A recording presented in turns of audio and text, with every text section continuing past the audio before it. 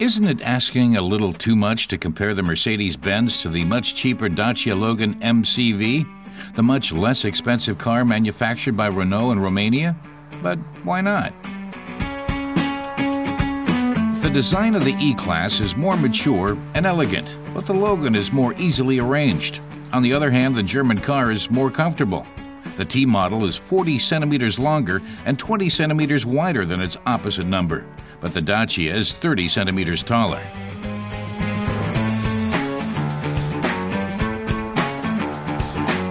The Dacia Logan MCV is powered by a 1.6 liter gasoline engine. 105 horsepower accelerate the car from 0 to 100 kilometers an hour in 12.1 seconds. The manufacturer lists the top speed as 174 kilometers an hour.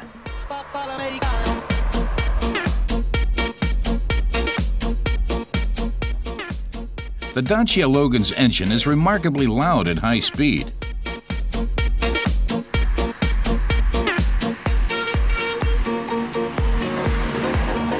As expected, the Mercedes is quieter. The chassis and engine are well tuned to each other, and that makes for relaxed driving.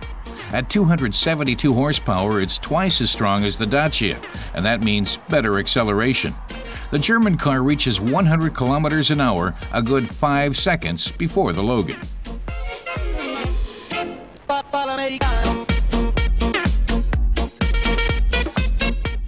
And the Mercedes leaves the Dacia behind it when it comes to the top speed. The T model reaches 243 kilometers an hour.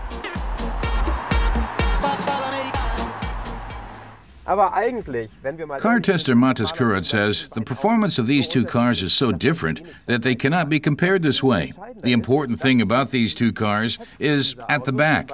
They are both station wagons and both have a lot of luggage space.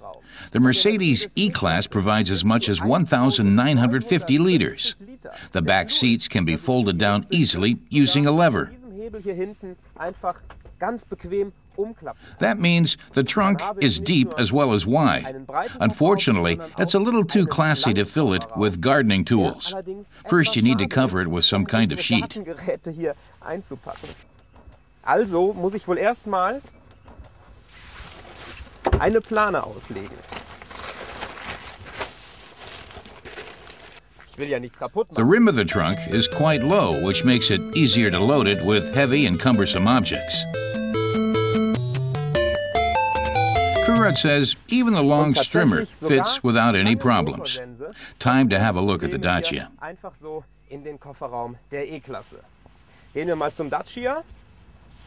The standard version offers 700 liters of space before the seats are folded.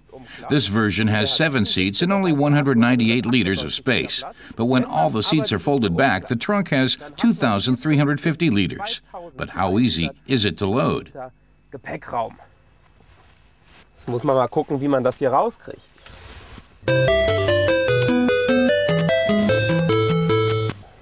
Naja, so schwer sind diese. Kurat says the seats are pretty easy to fold. So, plus points for the ease of use.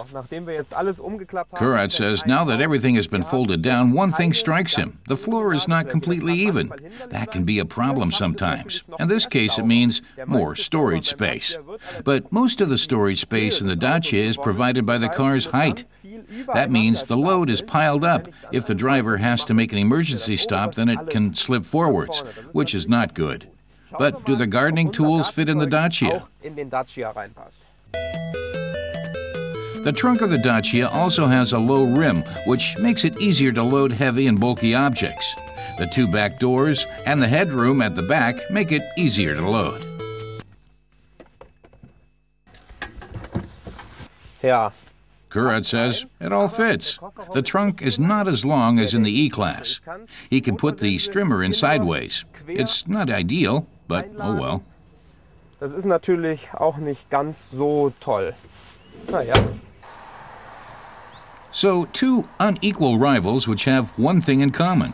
They are both spacey station wagons. Both have their advantages and disadvantages. So, what does Kurat think about the comparison? Was soll ich sagen? Es ist halt das typische. Montes Kurat says it's tough. Both are cars, and they can be driven. Just like with clothes, you could wear anything.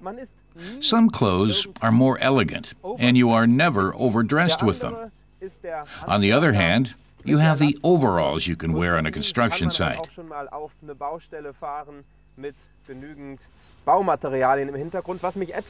Kurat says what disappoints him about the Dacia was the shortness of the trunk. The Strimmer only fitted sideways, not straight like the Mercedes. And that's why the Mercedes was his favorite, even if it's not suitable for a construction site.